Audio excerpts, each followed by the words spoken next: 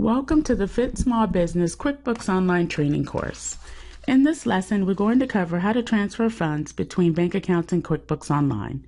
To follow along with me, log into your QuickBooks Online account now or click the link below for a free 30-day trial of QuickBooks Online.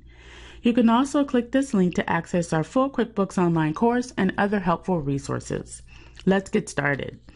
Business owners often use different bank accounts for different purposes and need a quick and easy way to transfer funds. In this lesson, we will walk through step by step how to transfer funds between business bank accounts that are set up in QuickBooks.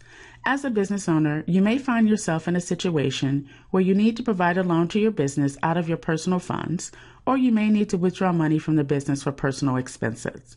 In the real world, you would probably transfer money from one account to the other. However, when it comes to QuickBooks, you will not be able to record a transfer since your personal bank accounts are not set up in QuickBooks.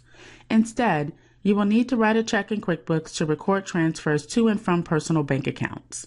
In the How to Write and Print Checks lesson, we walk through step by step how to create checks in QuickBooks.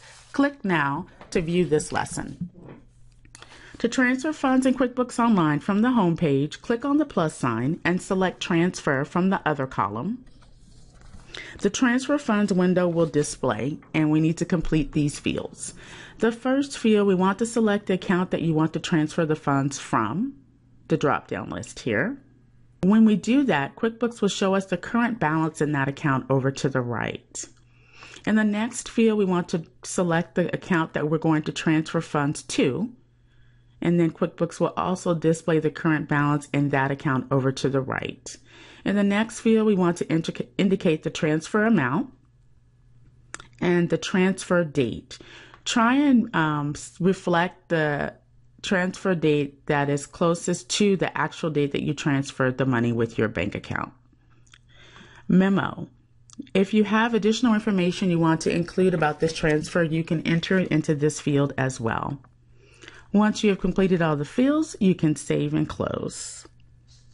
Once we've completed the transfer transaction, we want to go ahead and go to the check register to review and make sure that everything is accurate. On the left-hand side of the menu, select Transactions and then Banking.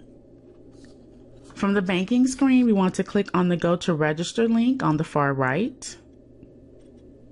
And then we want to navigate to the bank account where we made the transfer.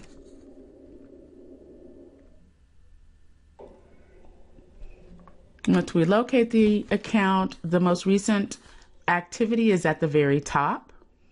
If we needed to make any changes to this transfer, we could simply click anywhere in this field and edit the information that is necessary. Once all the information is accurate and the changes have been made, then we can save it. To gain a better understanding of the impact that transferring funds has on your accounts and the financial statements, Click here to access the step-by-step written lesson. That wraps up the lesson on how to transfer funds between bank accounts in QuickBooks Online. To access our full QuickBooks Online course or any of the other lessons in this series, click this link. You can also find a link below this video for a free 30-day trial of QuickBooks Online. If you have feedback about this course or if you have any questions, please leave a comment below. Also, don't forget to subscribe.